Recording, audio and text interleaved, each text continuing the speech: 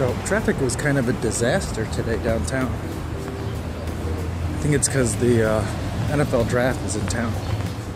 Last year, I couldn't go to the draft for, I can't remember why, but I couldn't make it. And this year, I can't go either.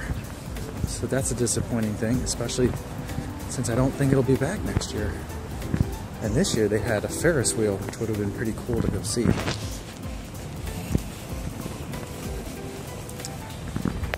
I'm gonna go drop off my dry cleaning and I gotta pick up some stuff for, for dinner.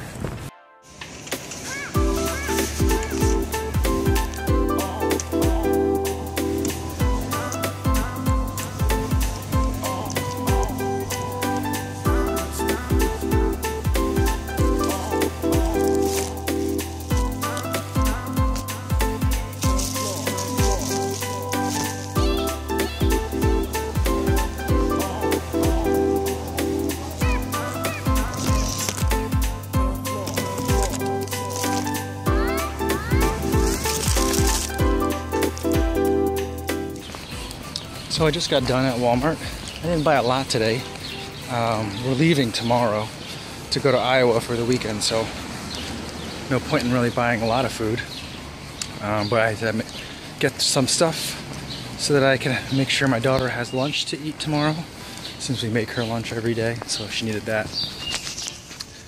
Um, I really like the Walmart that's in our neighborhood. It's not a regular Walmart store, it's like a neighborhood Walmart. Not to be confused with the Walmart Express. All those have closed in the state of Illinois uh, for whatever reason. But we have a neighborhood Walmart.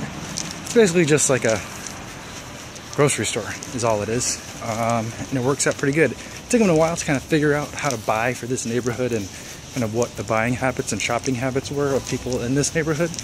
But I think they kind of got it figured out. The funny thing about it is, for a while it was really controversial, as is the introduction of Walmart into any kind of urban area.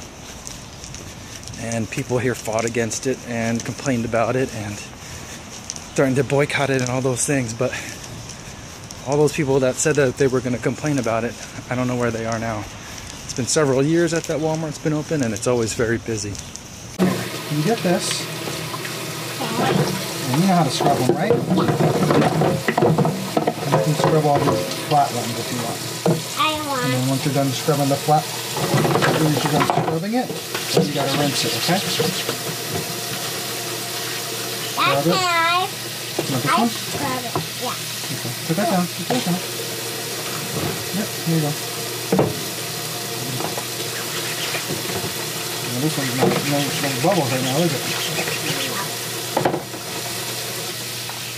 Did you get both sides real good? I know, you got dishwashing liquid is hot. Can you cook cold? Yeah. Is that better? Mm-hmm. Can I wash this one? Yes, please. Now, once you're done rinsing it, then give it to Daddy and we'll put it in here.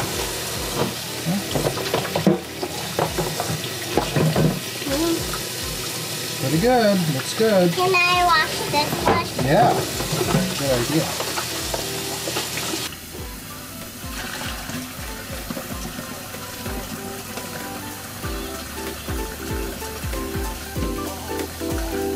Forgot the camera was going.